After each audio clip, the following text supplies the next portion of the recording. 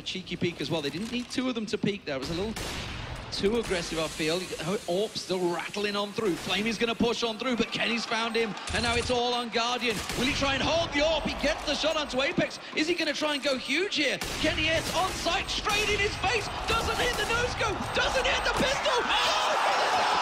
Kenny S! Would you believe it? The ball's on that man to go for that play and make it 5-3 now. Oh, God, dear Lord.